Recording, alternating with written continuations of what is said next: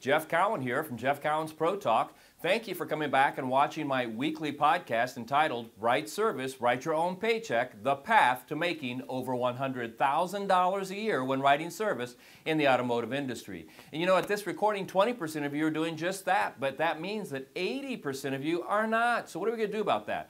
What we're going to do about it is you're going to keep coming back and listening to this podcast, and I'm going to show you how, through tips and techniques and word tracks and processes, on how you can get yourself in that elite group of the ones making $100,000 a year or more. Now, if you're in that elite group making $100,000 a year or more, you keep listening too, because I'm going to show you how to even make more money. I'm coming to you this week with, a, with what I believe is going to be a great message for you. And what it's entitled is Are you solving your problems on your service drive or are you masking your problems on the service drive? Because right now, by and large, most service, most service drives out there today, service managers and business owners, they're masking the problems they're having on their service drives instead of solving them. Now, I can best uh, uh make my case by sharing a story with you. I remember going, going home one night, and as soon as I walked in the door, I knew immediately I was in trouble because here's exactly what the wife said I'm going to kill them. I've had enough. Either they go or I go. I've had enough. Now, I got to admit, that's the kind of thing you hope your spouse would say when they're talking about their own mother and their aunt. But in this case, she wasn't. Instead, she was talking about my dogs. That's the last per- people, our pets, the things that I wanted to talk about. I didn't want my dogs to go away, but here's what happened apparently one of them had peed on a rug, and not just any rug, but a rug in a room that not only are most people not allowed to sit in, not even allowed to sit in, let alone pee on the rug, but these guys went into the formal living room and peed on the rug, and she had had enough. Because this wasn't the first time this had happened. See, this had been happening for quite a while, and, and all, on all kinds of, in all, in all of our rooms and all kinds of different rugs, and my wife had just had enough. After, after several months of trying to solve this problem, she just had enough. I mean, we'd done everything. And I got to tell you, in our defense, we did everything we could to keep this from happening. We bought gates. We read the books. We watched the videos. We put them in crates. We took them out of crates. We, put, we wouldn't allow them in certain rooms. We, we, we got even, I even went as far as getting a cheap doggy door. I think it cost 100 bucks. I got it at Home Depot. It was a temporary thing. I took it in. It kind of went in the sliders that ran out to the backyard. And it worked the first two times they ran through it. But the third time they ran through it, since it was temporary and it was cheap, it started rattling and almost falling out, and they wouldn't go through it because it scared them. I mean, we literally tried everything we could, and my wife was at her wits' end. She was done. The dogs had to go. I reluctantly, a couple days later, went over to the vet, a person I really trust that placed dogs, and I told them I got to get rid of the dogs. Now, they were shocked because they know how much I like my dogs. I love these dogs. They're just fun. They're my best friends, right? Well, they asked why I wanted to get rid of them, and I told them the whole story, and they, they said this, look, we know you like your dogs, and we know, that, we know they're in the habit of using the restroom all over your house. Before you give them away, would you have a problem with one of our expert trainers, somebody that we know, an expert trainer, come into your house and just having to look around? Well, I uh, agreed because I wanted to do everything I could to keep the dogs there, so I invited this dog trainer over to our house when my wife wasn't there. The dog trainer gets to our house and she walks through our house. She goes in every room. She looks at all the things we'd done. She walks out in the backyard. Uh, she introduces herself to the dogs. She plays with them for several minutes. And then she kind of goes off in the corner with the dogs for about 10 or 15 minutes, asking if she could be alone with them. She walks them out in the backyard, and then she comes back over and says, I've got the solution. For $1,000, I can solve your solution. Now, I can solve your problem. Now, included in the $1,000, she told me she was going to put a permanent in the wall, permanent dog door, and she was going to solve our problem because what she told me was is we were masking the problems. You see, everything that we came up with always left the dogs with an option of going to the bathroom in the house. Whether we put them in a crate, whether we put them in the laundry room, whether we blocked them off, no matter what we did, there was always an option to either go out, wait until we got home to go outside or go in the house. We were actually enabling them to do what we didn't want them to do. So I convinced my wife, I told, the, I told the lady on the spot, yes, I want you to do this. I want you to solve this problem. I convinced my wife, give me one more shot. I didn't tell her about the $1,000. I don't think she knows now. She'll know it after watching this. But I paid the lady the $1,000, and literally, literally, just like she, she, told me, the trainer, this is the part of the story I left out, because she told me if I spent the $1,000 and let her do what, I, what she needed to do, within three days, three days. Now, this is almost a year we've been trying to solve this. She guaranteed me within three days she would solve the problem. So when she came back in, She put the permanent door in, and she worked my do- with my dogs for three days. I can tell you, with a very, very rare ex- exception, over the last 10 years, my dogs have not gone to the restroom in the house. And if they have, it's usually because we've, we've made a mistake and not them. She finally solved the problem. She pointed out that we were masking the problem. We were actually enabling for this problem to exist. We were enabling these dogs, and she finally solved the problem. And I tell you what, I was delighted because I got to keep the dogs, and like I've already mentioned, I've had them over for uh, had them for now over 10 years. So why am I bringing this up? Why am I talking about this right here? How does this relate to you? Well, I'm going to share that with you right now. Many, many times we visit service centers of all types, and we find that you are doing the same thing we were doing with our with our dogs. You're doing the same thing with your frontline service employees that we were doing with our dogs. You're enabling them to underperform. You're enabling them to not do what you're paying them to do. Now, now what do I mean? What do I mean? I'll come back and tell you in a second because before I tell you what I mean, I want you to know this. I'm taking my two day workshop out on the road again. This time I'm going to Minneapolis, Minnesota. I'm going to Nashville, Tennessee, and I'm going to Denver, Colorado. And you want to sign yourself up for this. And you want to do it now. Here's why. You know, you, you write me all the time, and you call me all the time, and you text me all the time and say you want to make more, you want to have higher customer retention, you want higher survey scores. Well, if you really do, come to this workshop because I'm going to show you how to do all three of those things. I'm going to show you how to get an instant 5 tenth increase on, in, in, in your sales. I'm going to show you how to get your customer retention above 80, 85% within 9 to 12 months. I do this all the time. I can make this happen for you. And I'm even going to show you how to get perfect. Yes, I use the word perfect survey scores.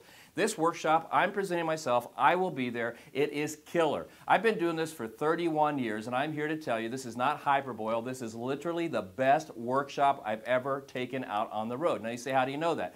because I've had it on the road now for almost seven months, and the attendees are telling us they're getting the best results we've ever seen in 31 years. I mean, I've nailed it with the content, I've nailed it with the processes, I've nailed it with the word tracks, and if you come, I'm going to show you how to go back to your service drives and nail it as well. If you're serious about what you're doing, tired of playing around, and you're not making $100,000 a year, you owe it to yourself, and more importantly, you owe it to your family. You owe it to your family to give them the lifestyle that they so deserve. Now, if you're not a workshop fan, I also have in-store training where we will show up on your service drive and stand out on the service drive. 85% of the time we're at your, at your business, 85% of the time side by side with the advisors, coaching, critiquing, role playing, and even writing service to show how our stuff works. We have management training programs, show your service managers how to be the best they can be, show them the latest and greatest techniques. I have online training, I have books, and I have DVDs, and the list goes on and on and on and on. Yes, if you continue to watch this podcast, I can help you be better at what you are. I can get you some numbers. But if you really want to do it quick, you want to do it fast, you want to do it today, and you want to be the best you can be, you gotta, gotta invest in yourself in some of these products. Okay, so we were talking about my dogs and how we've enabled them. You know, no matter what, we, if we blocked them off in a room, there was still the option for them to go in the house. We put them in a cage, there was still an option for them to go in the house. We put potty pods down, there was, there was an option for them to go in the house. You know, I mean, even with the, the whole thing. So we were enablers. We weren't solving the problem, we were masking the problems. And I was about to explain to you what I mean, because again, we go to these different service departments all the time and we see business owners and managers not solving their problems but masking them. So here's what I mean.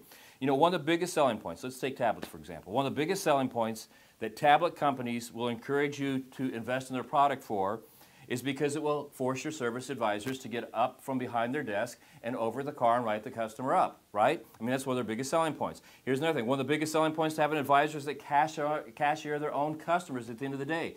People try to get those systems set up because then what it does is it forces the service advisor to talk to every one of their customers at the end of the day so it, it reduces the risk of them misleading the customer or not being there at the end of the day to fade, to fade heat.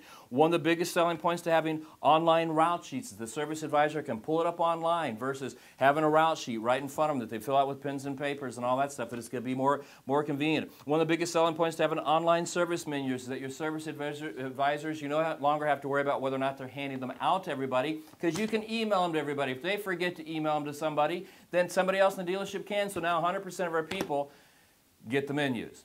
And but in doing all of that stuff, because don't get me wrong, I like all that technology, and I could go on and on here with more technology. But when you bring those things in, rarely do your numbers change. Did any, did any of your numbers really change? Did any of those numbers go to the, the type of numbers I'm talking about, over 2.5 hours per repair order? Did you get above 85% customer retention? Do you have perfect survey scores? Are you making $100,000 a year? You got all this stuff. You gave your people all this stuff, and they're not doing that. Why? Because you mask the problem. Now, what do I mean? What I'm talking about here is if you really want to solve these problems, this technology stuff is important, but it's not going to solve your problems. If you want to solve the problems, here's what you have to be brave enough and willing to do. It's this simple. You have to be willing to create a process. Write that down. Number one, you have to be willing to create a process. Number two, you have to be willing to train your people side by side as they're writing up customers on the service drive on how to execute that process.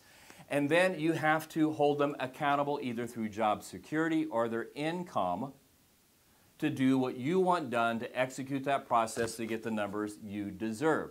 Because again, all we've done is mask it. You want your people out from behind their desk. You don't need a tablet. Would I have a tablet? Sure, but you don't have to have a tablet to do that. You know how you get them out there? You legislate it into their job description. If you get out there and you're over at the car, then you're going to get paid. If you don't, well, then you won't. Eh, hey, if, if, you, if you don't handle your customers and deliver the vehicle at the end of the day and you force somebody else to do it because there's a bunch of heat, then you, we're going to ding your paycheck or affect you where it really hurts, right?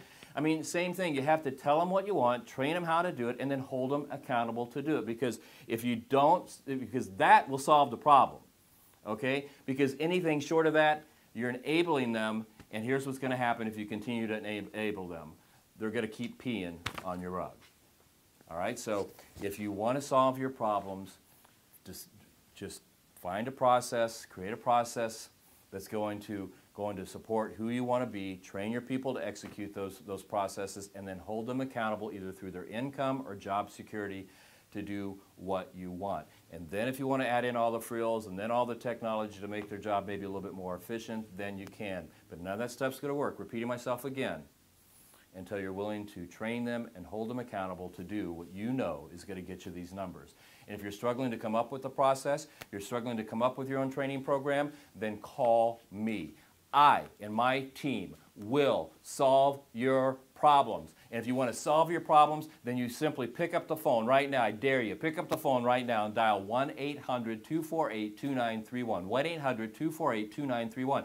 Or as a matter of fact, I'll even go a step further. Call my per personal cell phone number, 317-506-1003, 317-506-1003. Text me and tell me, I want your help. I'm ready to change. I'm ready to have a process. I'm ready to train my people. I'm ready to hold them accountable. I'm ready to be the best I can be and help my people become the best they can be because I want them to be over 2.5 hours per repair order. I want my, my customer retention to be 80, 85% within 12 months, and I want perfect survey scores, and I want to earn the money that I deserve so I can take, take it home to my family and give them the lifestyle that they deserve. If you're ready to do that, I dare you. Pick up the phone and dial that number 1 800 248 2931.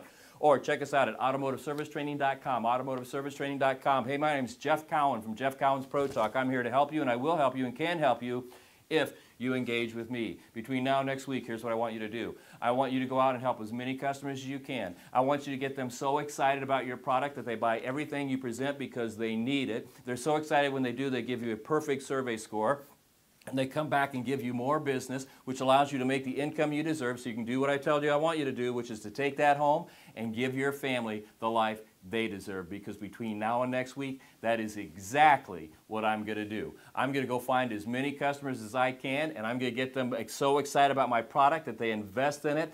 They become the best they can be. It allows me to continue to be the best that I am and earn the income that I deserve so I can continue to enjoy this marvelous, marvelous life that I have with my wife and two dogs. It's a great one. Nobody pees on the rug anymore around our house.